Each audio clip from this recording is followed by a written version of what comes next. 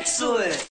What's up guys, welcome back. I think this is my first video that's actually more about computers than home remodels in quite some time, so thanks for bearing with me. I do have some personal updates that I'm going to talk about a little bit later in the video, but the main purpose of this video is what you can do right now to help out with the current global situation, the pandemic. Coronavirus is pretty much everywhere and it's affecting everyone's daily lives, and apart from the good advice that hopefully you have been taking, such as washing your hands all the time, being aware of transmission vectors, staying the F home and not going out and making yourself more of a risk to others, what more can be done besides sitting at home playing video games, biding your time, and hoping no more horrible news comes out? My answer for today, and this is not the first time a video has been made on this, is folding at home. So I'm on the Folding at Home website, which is foldingathome.org, and I'm going to be installing this and running this in order to help with the COVID-19 outbreak. They have a separate page just on that where you can read up a little bit more on what folding is, what it does, how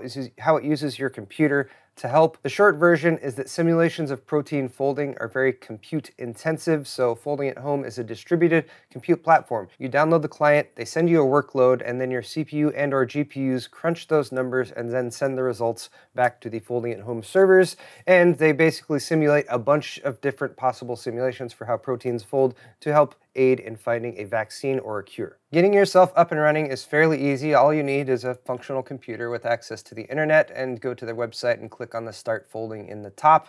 Uh, you're going to download the Windows client, which is available right here. I will click on that. You can then just go ahead and launch the installer. You're going to run through some pretty standard uh, program installation uh, wizardry stuff here. And then you can just let it start folding at home once you click finish. And uh, I believe this is going, yes, so this is going to launch in a browser window. You're also going to want to give it access through your firewall. And here you can go ahead and just fold anonymously, or you can set up an identity. There are teams, and there's a little bit of friendly rivalry going on. So I'm going to set up an identity, and then I will join a team. Now, I could, of course, make my own team, but I don't, I'm not really feeling bold enough to do that. I'm going to join one of the many PC gaming enthusiast teams that are out there. There's one from the PC Master Race. Linus Tech has a really popular one. EVGA has one too. I did a quick Twitter poll and uh, Linus Tech appears to be leading right now, but of course he's sort of the big name in the game. And then I have a bunch of other people who have suggested other teams that I might join. There's Aorus Gaming Community, Hardware Canucks. Apparently Gamers Nexus has set up a team recently. Barnacules has one. And look how nice of Dave to go ahead and list the uh, numbers for all the teams right here. Apparently Hardware Canucks team has been going for quite some time. Gosh, this is a tough decision to make.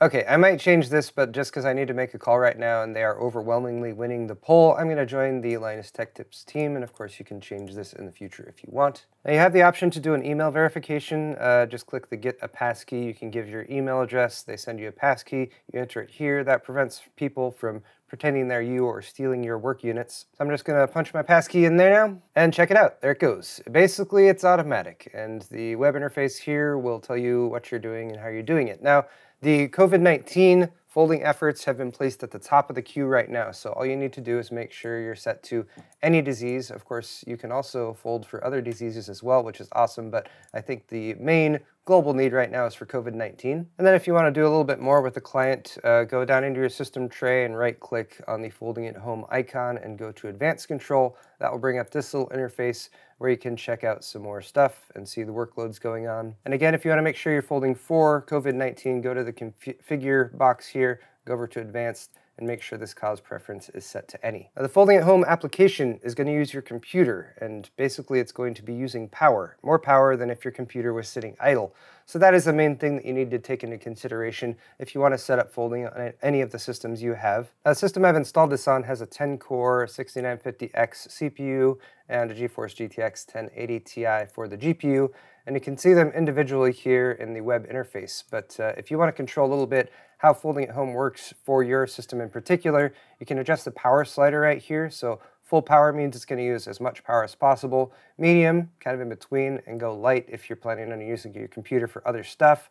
Or if you want the system to do folding, but only when you're idle, we'll just click the only when idle option. That way, if you start actually using your computer for something, it will shut down the folding, uh, and then it'll start it back up once you switch back to idle. You also have a big red stop folding button right here, so if something's gone wrong, if you're overheating or anything like that, you can just turn it off immediately. It's also worth pointing out in the advanced control interface here, you can right click on stuff like the CPU and pause it. So if you only want the CPU to fold or you only want your GPU to fold, you can pause one or the other of those and let the other continue to work. And you can also individually set the CPU or GPU to only work when on idle as well. I think the only other thing I should point out about this is that it's gained a lot of popularity recently thanks to several other people who have posted videos on the subject, including Linus, which means that the folding at home servers are at times having difficulty issuing workloads to their client computers. And apparently also the folding clients are having issues sending the results back to the folding at home servers once they're done with a workload. On the whole, that is a good thing, and according to this PC Gamer article, which I'll link in the description if you want to read it,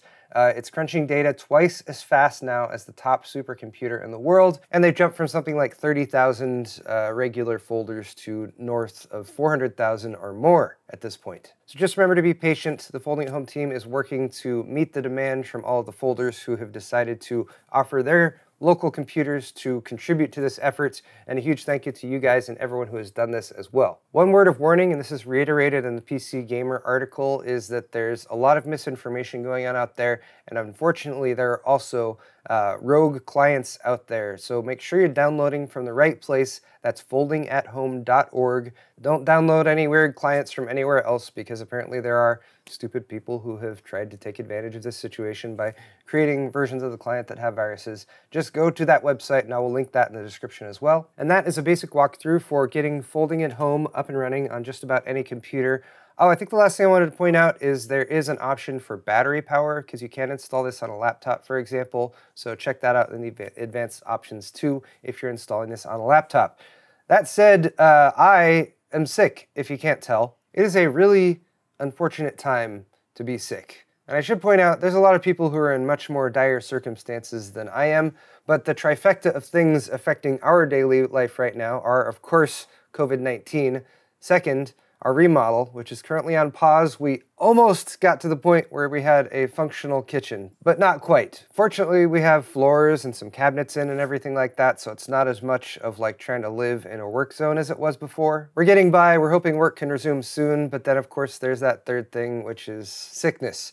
My wife actually got sick before the work started. For anyone right now who is just sort of a more normal sick as opposed to the COVID 19 stuff, it's just a kind of an even worse situation than just typically being sick because you're going around you're coughing. I've been coughing a lot. I've been having to suppress them or hopefully edit them out of this video. And I think for us, if it was like two of these three things, it would be much more easy to deal with. But fortunately, I think things have settled down a little bit right now. We've gotten a few of our regular routines back now so we can have breakfast in the morning. My wife is working from home. And then the final thing is we don't really have any childcare right now. So that's also affecting my ability to post many videos. So I hope this one has brought more attention to folding at home for those of you who weren't already aware. For those of you who do have the spare compute resources, the spare electricity to contribute toward this effort, I think it's a very important and I really, really thank you guys for doing that. Again, relevant links are down in the video's description. For my parts, even though I probably don't sound it right now, I'm actually doing much better this week than I was earlier in the week or last week. And I am in a situation where I typically work from home, so I do have the ability to make videos as long as I can talk and stuff like that. So hopefully I'll be getting back to more of a regular launch schedule too. Thank you guys so much for watching this video though. Feel free to share it if you know anyone who you think might be able to contribute towards this effort.